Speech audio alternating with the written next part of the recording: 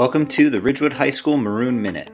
We're excited to share with you short snippets and interviews to give you a snapshot look into our community. We're proud of our staff and students and want you to get to know them on another level. Go Maroons! Welcome back to another Maroon Minute. Uh, this one is going to be pretty fun because we have two guests on today. We've got uh, Mr. Mike Troy and Mrs. Uh, Medha Kirtane. And uh, welcome, guys. Thank you so much for doing this. Thanks really for having appreciate you coming on. Thanks for having us. Yeah. So usually the first question is um, to just tell everybody what your your role here is, how long you've been here uh, at RHS, and, um, and and just share with people what, what you do. Go ahead, Medha. Thanks, Mike. Um, what a gentleman. Um, so my name is Medha Kirtane. I'm in the social studies department. Um, I've probably been here for decades because I was a student here um, years ago. Uh, in the uh, so I'm social studies department. I'm also the advisor for Asian Festival, and I used to coach the girls tennis team for um, a little over a decade. Nice. Thank you. And Thanks. I've been in the social studies department since the fall of '02. Um, and in that time, I've had a couple different roles, but um, over the past 17 years, I've been the boys varsity basketball coach as well. You've been the coach for 17, 17 years. I believe it's my 17th, yeah. This is your 17th season. That's awesome. Um, and so, you know, you guys do some really special things, and those are, you know, obviously coaching coaching a team, um, and made it as a as coaching the tennis team, and and uh, working with Asian Fest. So you guys have such a tremendous impact, not just on on the students you have in the classroom, but the things that you do outside of the classroom. And um, you know, one uh, we could we could spend an entire session talking about each of those things. Uh, but one really special thing that you guys do together as a team that I'd love to highlight today is is uh, something called the Maroon Award, and uh, I know that that's been going on for a couple of years, and you guys are now kind of continuing the tradition. Um, and I'd love for you guys to maybe speak about that and um, you know what what that means to our community here. Yeah, so I think we're the beneficiaries of stepping into such an incredible pro- program that I think is at the heart of what we privilege at the high school um, in terms of you know its tradition of excellence. What does that mean? I think in terms of kindness and character. So Jack Lorenz, a man who sort of embodied those ideals, he created the Maroon Award to um, really highlight people who do the right thing regardless of whether people are noticing it or not. Um, so it's not a formal award that was given at a particular ceremony, um, but just the idea that there are people who do things that make the world turn um, in, in good ways. And we should uh, recognize those individuals. And um, after Jeff, so many people have worked on it, and it wouldn't be possible without um, the faculty and staff nominating individuals um, to who who they see are are doing these good acts, or performing these good acts. And then Dave Bailey and John May uh, shepherded in through another phase, and um, Mike and I somehow were uh, told to help out, and we were thrilled to be able to do that. And um, I think it's one of the most important things we do at the high school, honestly. Yeah, I, I would just add too. I, I think our school does a great job of highlighting the different talents of kids here, uh, whether that be through athletics, whether that be through the band and chorus, new players, uh, DECA. There, there's so many talented kids here, and we really do. We we highlight them, and rightfully so. And what I think makes this different um, is that we're just highlighting them based on the people they are, not necessarily the talents they possess. And and sometimes it is some of those same kids. And sometimes it's a kid you, you might never have known. Um, and, and that's what i think really it, it makes this meaningful. And, and just seeing like the parents reaction to hearing what a good person their child like their child is i, I mean i think it's a very powerful thing.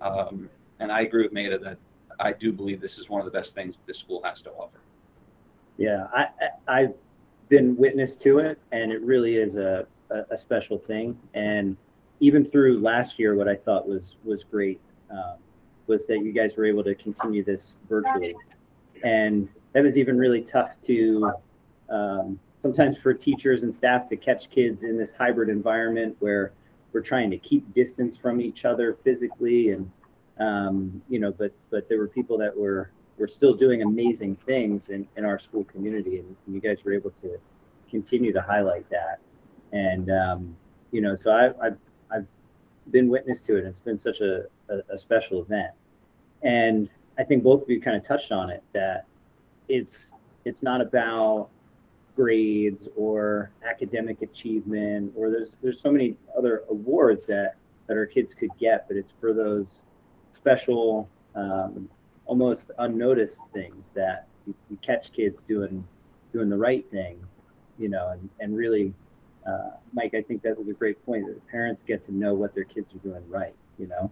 And chris i also think i mean it's, it's a great thing that our staff recognizes it too. I think our staff does a really nice job of finding those instances, those, those little, you know, gems in the day that that meant a lot to them, and, then to be able to share that with the kids, because again, the kids do it unknowingly most of the time, um, and, I think our staff, you know, as I said, we've been doing this now for over a decade, and the amount of staff members that have contributed to this has continued to grow.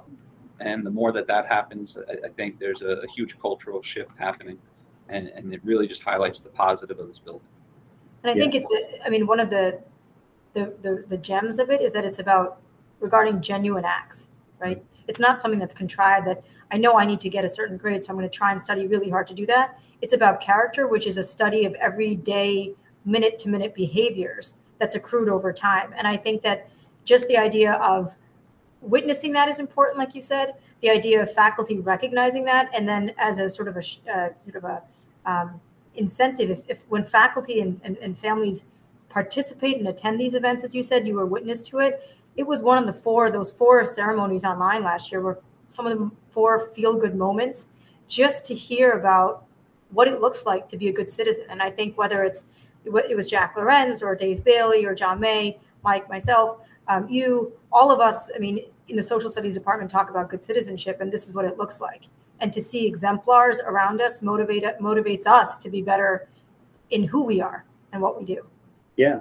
And and it's a it's you know it's it's a testament to you know when you talk about character right? It's good they talk about good character being what you do when no one's looking um, or at least when you think no one's looking right? And and like you both have pointed out this is the the staff noticing what kids are doing when they think people aren't looking. And and that encourages them to continue to do those things, right? Not just for the sake of getting have I received an award, but to know that wow, people are really noticing, and it's it's so um, enriching to an individual to just be noticed, you know. And I think that's um, I, I think that's what is it makes this award really special, um, and even for parents to know like wow, my my kid was noticed and seen in this in this large community of, of 1800 students you know um, so uh, you know thank you guys for for doing that i i want to ask one more question um, that kind of connects to you know the why behind you guys doing things like this so what would you guys say um, as individuals is a personal inspiration or has been maybe a personal inspiration that you know kind of just drives you as as an educator um, as a coach, uh, moderator of, of different clubs and activities? Like what what's something that has been an inspiration to you or inspires you um, to kind of keep, to keep going and doing what you're doing? For me, I'd probably say it's the students, to be honest, and like that's what this this award's doing is highlighting them.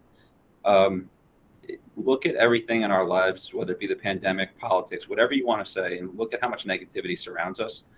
And then every day we have the opportunity as educators to come in here and get away from all that and and we have you know six hours a day where we get to watch kids be so happy on, on so many different levels and uh, like personally i just feel like energy is contagious and if you want to surround yourself with negative people i got news for you you're probably going to be pretty negative if you surround yourself with positive people you're going to have a better life and these kids do that like they're my inspiration. They're they're my positive energy on a daily basis.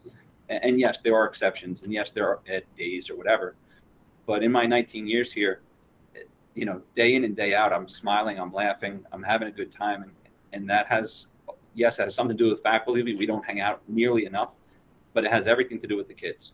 Um, and so long as that's happening, you know, this is the most fulfilling career you could ask for, and and this just highlights that Yeah, I think Mike is absolutely right, and I think that I, I, hope and think that most of us got into this field because of that. I mean, the the and the, the age group that we're dealing with in particular, they're discovering so much. I feel like this idea of hope is embodied in every moment in the school. Right? You hope it's a new day, it's a new year, it's a new period, it's a new month, and this newness gives. If you believe in hope and you know the ability for things to get better, um, we always have a chance to try and improve where we're at, no matter where it might be, whether it's our mood or um, you know, failing at something and realizing that's actually growth.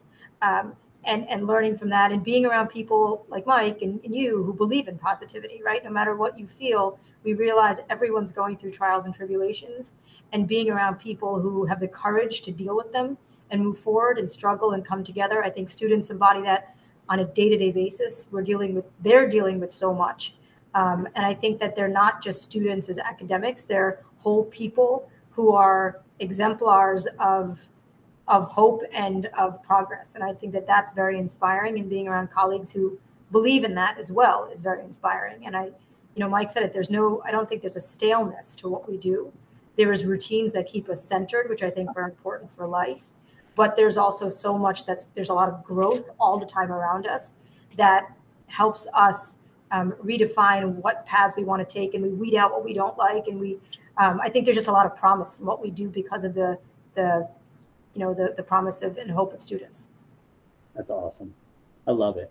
And and you know, and it's not just positivity for the sake of being positive. You know, I mean, this it's it's remaining positive in light of the negativity because of the energy that it that it that it gives off, because of what it the impact that it can have on on any given individual at any point, right? And you never know when it might have a, a, major impact on on a kid that is just is having a bad day. And you just say hey you look them in the eye and say hey what's going on? How you doing today? You know and and it might just put a smile on their face that that they wouldn't have otherwise had.